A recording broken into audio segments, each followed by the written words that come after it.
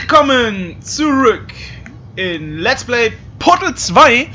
Im letzten Part haben wir GLaDOS wieder aktiviert und ja, wir müssen wieder Tests machen. Was denn sonst? Ja, ich bin immer noch ein bisschen heiser und erkältet, aber juckt mich nicht, ich nehme trotzdem auf. Und ich würde sagen, wir legen los!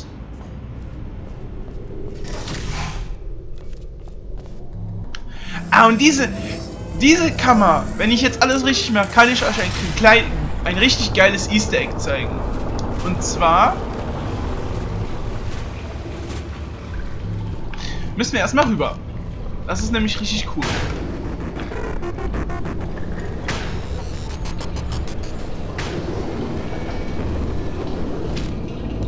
Ja, und direkt mal verkackt.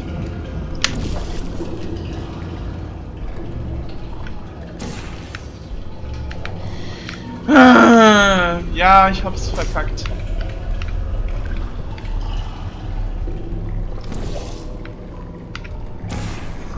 So. Nochmal fliegen. Whee! Whee! Whee! Und Bounce! Und das war knapp. So, jetzt müssen wir aber gucken. Der fällt hier rein, das heißt blau.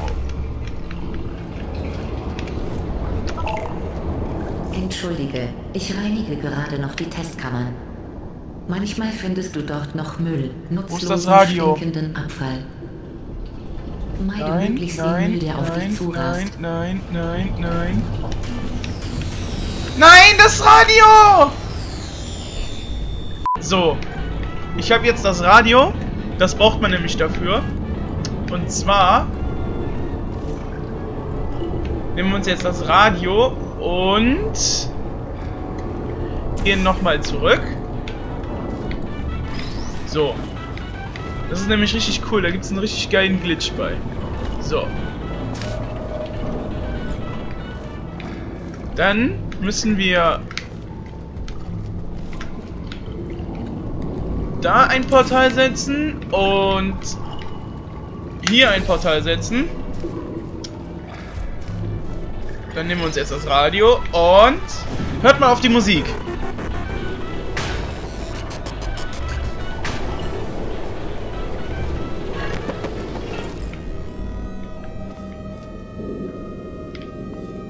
Hä?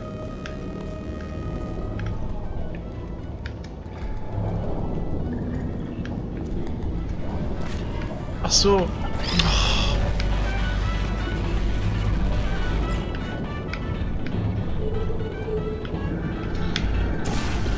Ja, man kann es natürlich auch verkacken.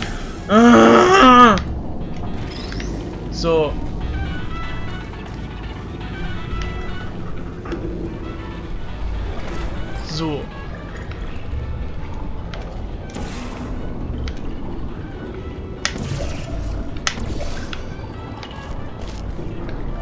Hört ja noch diese schöne Musik aus dem Radio.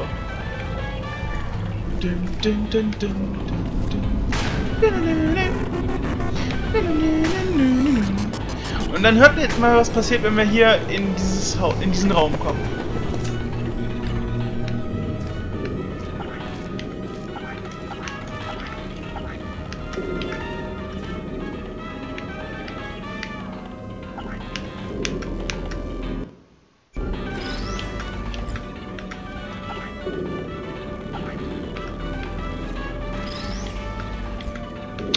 Komm doch schon.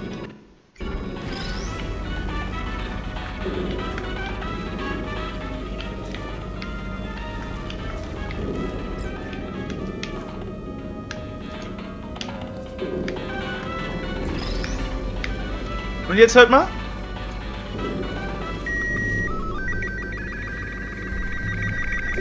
Schon irgendwie krank. Und das ist nur hier. Wenn ich wieder rausgehe.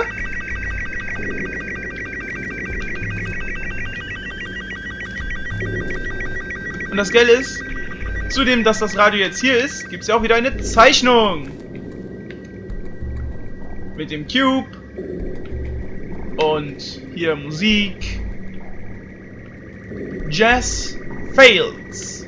The smooth jazz fails. Hm, was das zu bedeuten hat. Erfahren wir hoffentlich. Und der Mond. Was hat der Mond damit zu tun? Und was bedeutet dieses Rauschen? Man hat festgestellt, dass dieses Rauschen, wenn man es kodiert, ein Bild ergibt. Und das Bild seht ihr jetzt mal kurz. Jetzt. Wir sehen ein Cube auf dem Mond. Was hat das zu bedeuten? Man weiß es nicht. Aber wir gehen weiter. Das war schon mal der erste, der nächste Bug. Aber um das Level fortzusetzen, müssen wir natürlich auf die andere Seite rüberkommen. Da müssen wir erstmal rüber und dann müssen wir Powerportal dahin und weiter geht's. Also ich finde den Gag äh, recht lustig, auch wenn ich jetzt zweimal zwei Anläufe gebraucht habe, aber egal, weiter geht's. Baum. Bounce. Und durch die Made. Boing. So, weiter geht's. Jetzt müssen wir das aber jetzt ehrlich echt machen.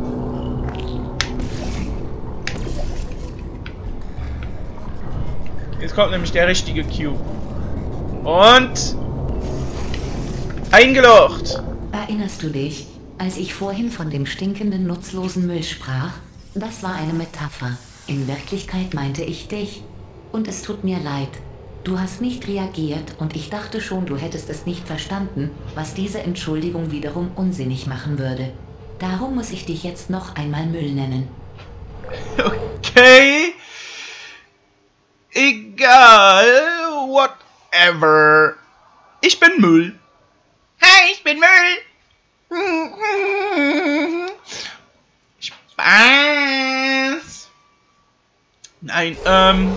Ja, ja. Wusstest du, dass man Menschen mit einem schlechten Gewissen viel einfacher erschreckt? Boom! Scheiße, habe ich mich jetzt erschrocken. Entschuldige, ich weiß auch uh. nicht, was das war. Aber eine interessante Tatsache, nicht wahr? Herzinfarkt!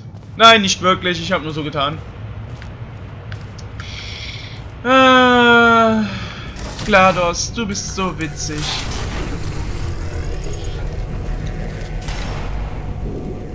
Oh, was haben wir denn da? Ein Companion Cube! Meiner! Ich will ihn nehmen! Habe ich dir etwa aus Versehen deinen Test vermasselt? Ja! Nimm dir noch einen anderen. Companion Cube! Ja! Oh nein. Ah! Was soll's? Wir haben genug von Companion Cube! Du bist mein Freund. Wertlos. Gut, dass ich sie los bin. Was für wertlos? Das ist mein Freund. Whitley! Ich habe Whitley gesehen. Du bist mein Freund. Fahrstuhl.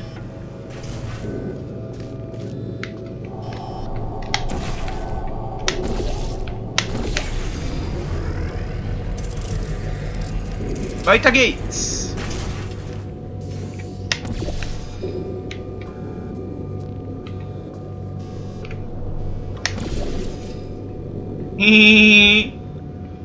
Lustig. Nein, okay.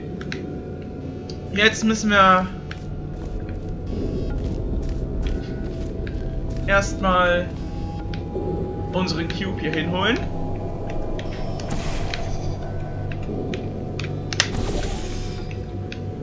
Cube!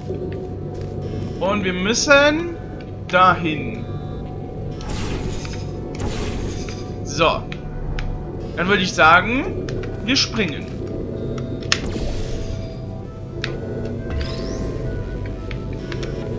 Geronimo!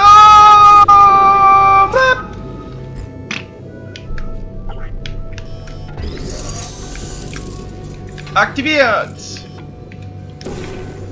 Und Geronimo! Whee!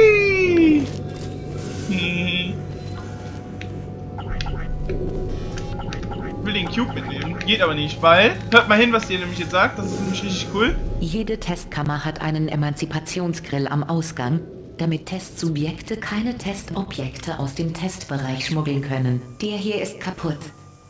Nimm bloß nichts mit. Du hast gerade dreimal das Wort Test in einem Satz erwähnt. Ist das ein Rekord?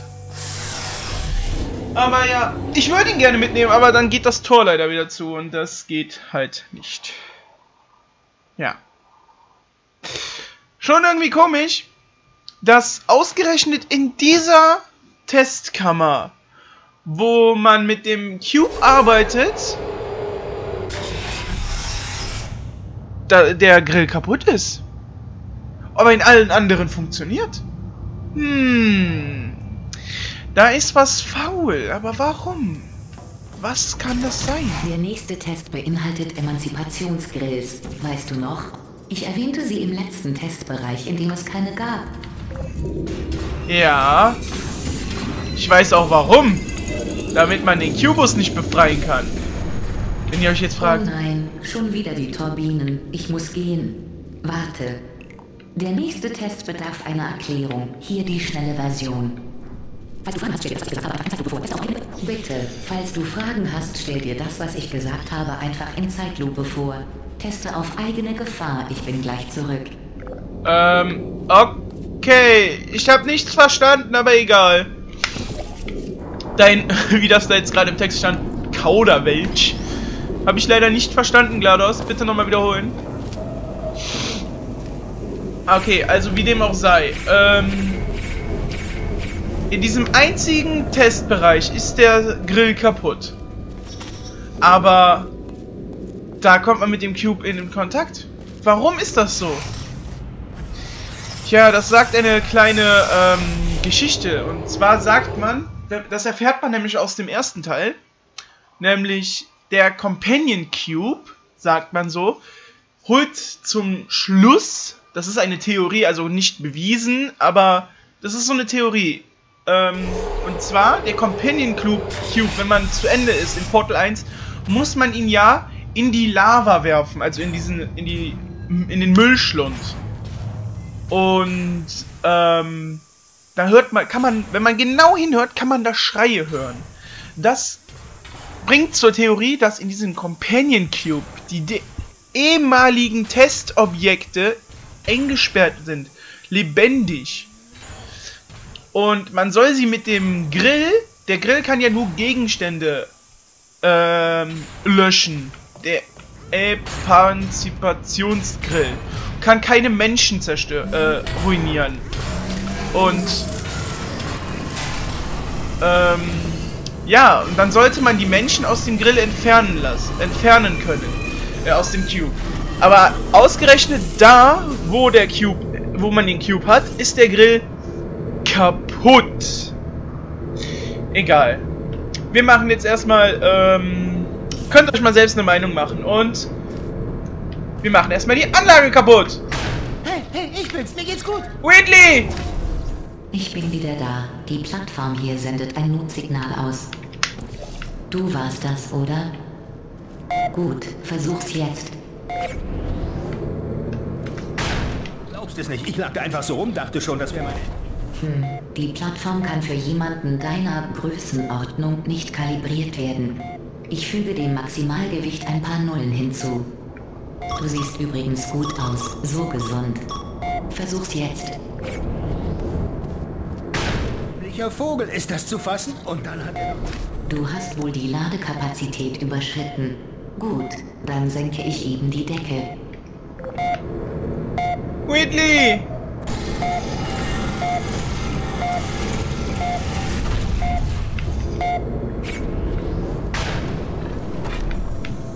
So, nun sind wir weitergekommen. Was nun?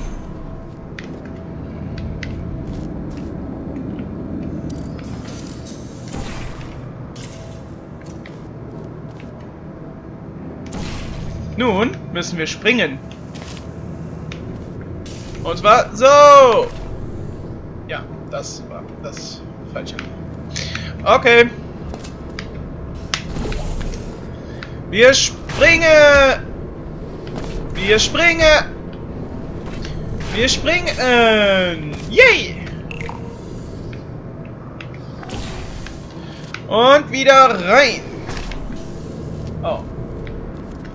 Und hoppa! Und wir haben den Cube. Yay! Ähm, um, äh, ah! Ja, nein, nein, nein. So, ähm. In die Mitte. So.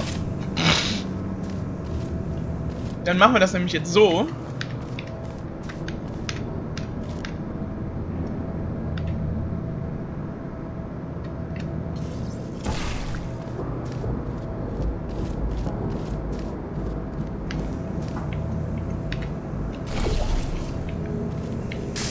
Au. Dann muss man das nämlich da durch jetzt durchzielen. So. Hm. Okay. Blom. Jetzt müssen wir nämlich wieder springen, um da hochzukommen. Äh, und ja! Wir sind oben. Nur wie majestätisch du durch die Luft segelst, wie ein Adler. Ein, Ein fetter Adler! Ach, danke. Ist dir das etwa aufgefallen?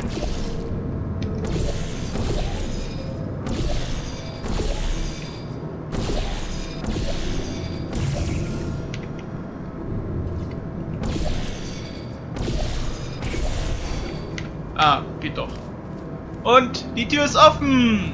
Ich bin ein fetter Adler. Da kommt der Lift. Einmal Erdgeschoss bitte.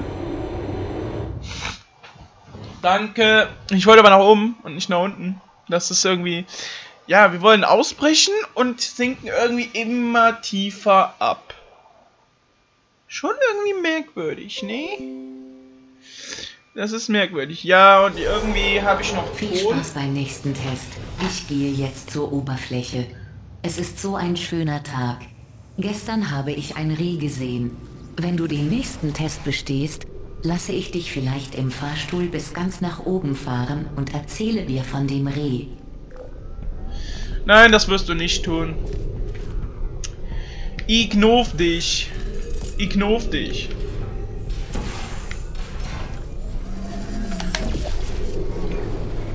Gib mir den Cube!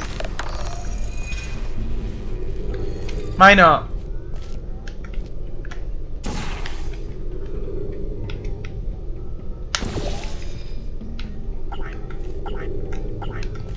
So.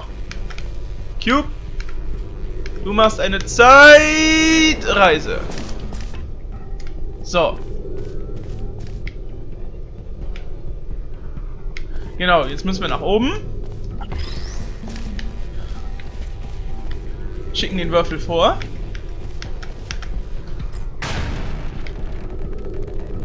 Da müssen wir nämlich hin. Oder auch nicht. Dummer Würfel. Kommst du mit mir? Ich spring nicht sicher nach oben. Warum kann ich nach so?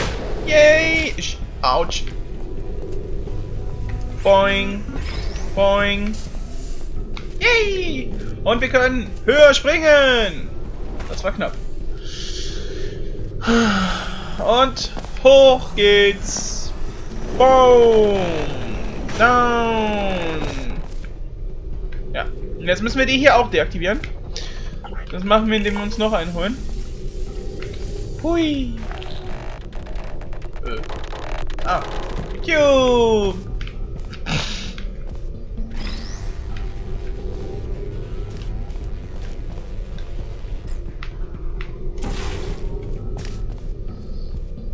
So, und nun...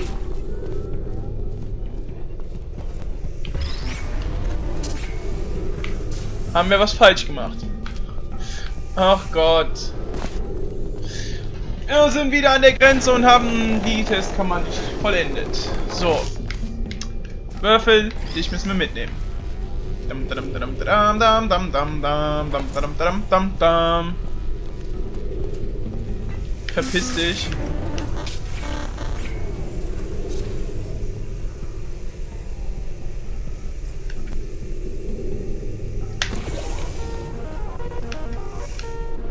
glaube, wir haben es geschafft.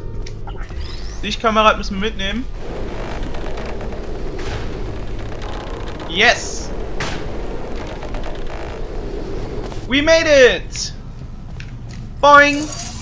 Test bestanden. Danke. Ich habe heute kein Rie gesehen, aber Menschen. Aber mit dir hier habe ich mehr Testsubjekte, als ich brauche. Oh, sie hat Menschen gesehen. Oh. Die Frage ist, ob es überhaupt noch Zivilisationen gibt oder ob die Welt wirklich untergegangen ist in dem Spiel.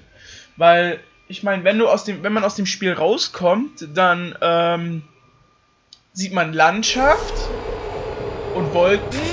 Das heißt, es müsste noch Zivilisationen geben. Wer weiß.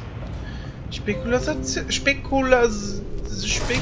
Spek. Diese Brücken bestehen aus natürlichem Licht von der Oberfläche. Wenn du deine Wange daran reibst, fühlt es sich an, als würde dir die Sonne ins Gesicht scheinen. Es würde auch dein Haar in Brand setzen, also lass es lieber. Moment. Ah. Ah. Spaß. Wir können hier springen. Hui, hui. Kamera kaputt machen. So, das wird nämlich jetzt sehr tricky. Zum ersten können wir hier rein. Da ist Wheatley! Und was sehen wir hier? Only not which seeing my eyes. Hier ist wieder der Mond. Was hat der Mond damit zu tun? This thing like seeing only not which my eyes. Das Ding sieht nicht alleine mit meinen Augen. Ja. Jetzt brauchen wir eine Bridge. Boing. Ähm. Moment. Ich muss da kurz was nachgucken. Genau. Papa.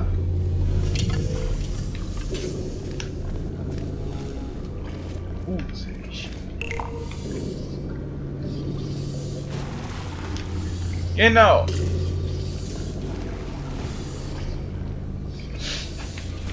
Das ist jetzt aktiviert. Ja, und jetzt müssen wir runter.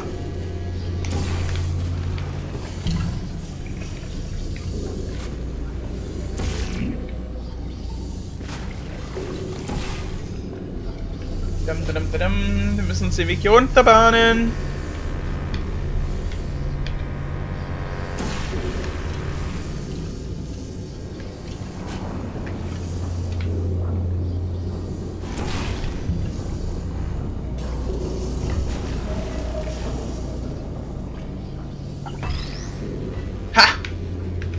I catch the cube! Bitch!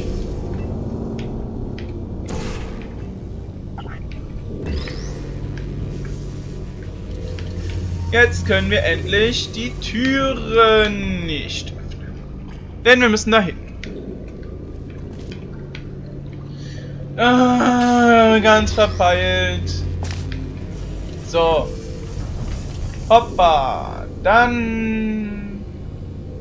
Da blau. Nein. Da blau.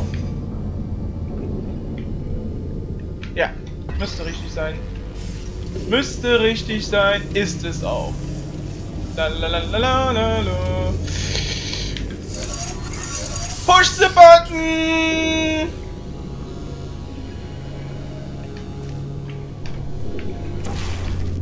Hoppa! Und drück geht's Sehr und gut. die... Du bist ein Jäger und die Tests sind deine Beute. Ich habe mich übrigens für einen neuen Test über Haie informiert. Kennst du noch andere Geschöpfe, die sogar die Leute umbringen, die ihnen helfen möchten? Dachtest du Haie? Falsch. Die richtige Antwort heißt niemand. Niemand außer dir ist so sinnlos grausam. Hey, du willst doch uns grillen! Die will doch uns grillen! Egal. Das war's mit Part Number 3.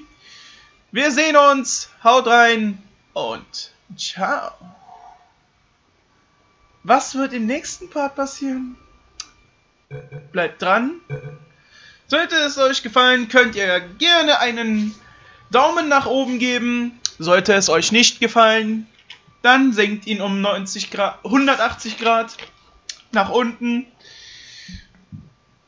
Wollt ihr das Let's Play weiterverfolgen, dann kann ich euch nur empfehlen, den Kanal zu abonnieren, um nichts mehr zu verpassen. Und wir sehen uns. Haut rein und ciao.